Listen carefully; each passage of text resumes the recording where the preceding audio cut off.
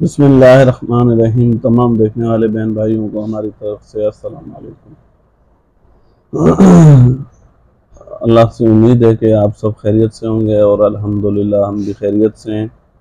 और आपको बहुत बहुत जुम्मा मुबारक हो, जुम्मे का रोज़ा मुबारक हो। अल्लाह ताला आपके रोज़े कबूल करे रब्बिल आलमीन। सेहत तंदरुस्ती, ईमान सलामती वाली ज़िंदगी दे। तो जी, जैसे कि आप देख रहे हैं कि फ़ातिमा की जो है ना, आज तबीयत सही नहीं है तो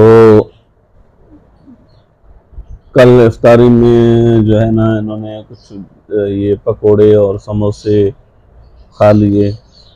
तो उसकी वजह से इनको जो है ना मोशन और उल्टियाँ हो रही हैं। कभी खैर इनका रोज़ा है, अभी डॉक्टर को भी नहीं जा सकते और ख़ुद भी मना कर रही है कि अभी रोज़ा खुलेगा तो फिर जो है ना डॉक्टर को जाएँगे। तो बस दुआ करें कि अल्लाह पाक इनको सेहत दे। बहुत ज़्यादा इनकी तबीयत जो है ना ख़राब है और बुखार भी है इनको साथ में। और उल्टियाँ, मोशन, बस दुआ करें अल्लाह पाक इनको सेहत दे और हम आपके लिए दुआ करते हैं हर वक्त, हमेशा। अल्लाह पाक आप सबको सलामत रखे, सेहत सेहतमंद रखे। फातिमा। फातिमा अपने बहन भाइयों से क्या कहोगी? सलाम करो ना।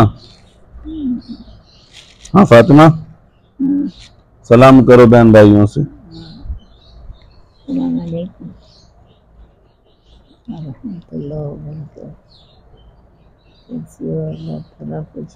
ज़ोर से बोलो ना। हम्म? दर्द हो रहा है। तो डॉक्टर को चले। फिर शाम को चले।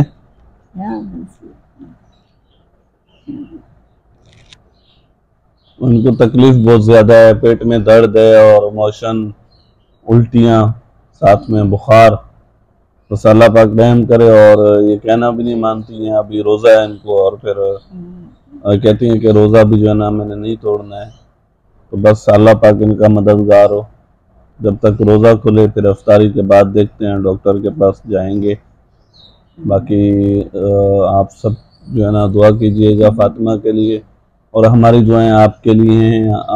जो दुआएँ जो प्यार आप कमेंट्स में हमें करते हैं अल्लाह ताला से दुआ करते हैं कि वो दुआएँ वो प्यार आपके हक में भी कबूल और रबालमीन आपको वो खुशियाँ अता करे जिसके आप मुंतज़र हैं। अल्लाह ताला आपके रोज़े कबूल करे, नमाजें कबूल करे, अल्लाह पाक आपको हर शर से महफूज रखे, हर तकलीफ़ से अल्लाह ताला आपको महफूज रखे। तो इन ज़िंदगी रही तो एक नई वीडियो में हम आपके साथ मिलेंगे और जब तक ये कि फ़ातिमा का जो है ना ख्याल रखना है मैंने इनकी तबीयत का, फिर इन ज़िंदगी रही तो एक नई वीडियो में आपसे मुलाकात होगी। जब तक के लिए हमें दीजिए इजाज़त अल्लाह हाफिज़ अल्लाह ने के